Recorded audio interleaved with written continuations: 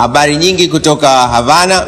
Jina langu ni Humphrey Polepole, balozi na mkuu wa kituo cha uwakilishi eh, wa Jamhuri ya Muungano wa Tanzania hapa nchini Cuba eh, jijini Havana. Siku ya leo tumekuwa na shughuli maalum sana ambayo imeendelea kuwa sehemu ya hatua kubwa na muhimu ya mahusiano ya Tanzania na Cuba. Katika mahusiano ya Tanzania na Cuba tunao mradi mkubwa wa kimkakati eh, ambao unaendeshwa kwa ushirikiano kati ya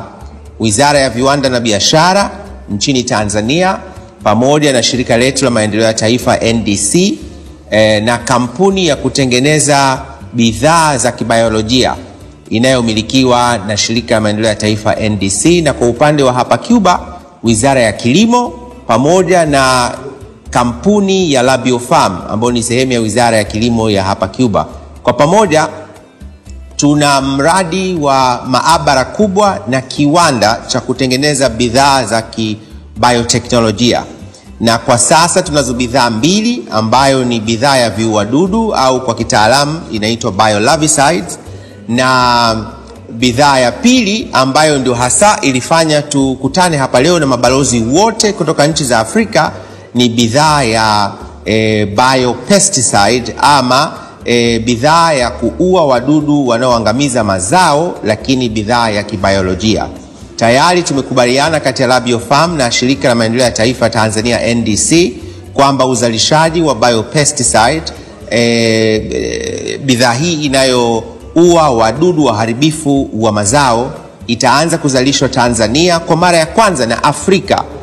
mwezi Novemba mwaka huu wa 2023. Lengo ni kuhakikisha ya kwamba bidhaa hii ya e, biopesticide lakini pia bidhaa ya biolarvicides zinatumika Tanzania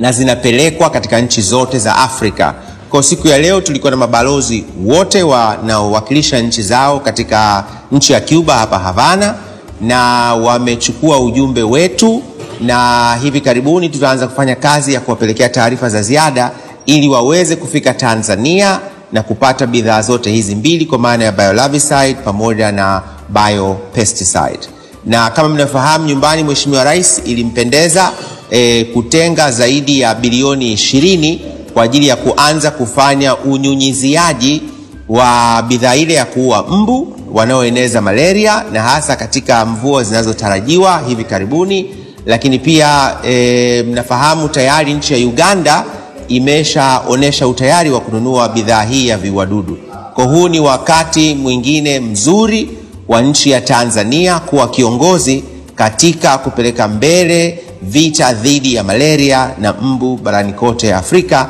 lakini pia kupeleka mbele kilimo bora, kilimo hai eh, kinachopelekea afya, lakini pia usalama wa chakula kwa watu wetu wa Afrika. Nawashukuru sana na salamu nyingi kutoka hapa Havana, na Mungu wa mbinguni awabariki sana.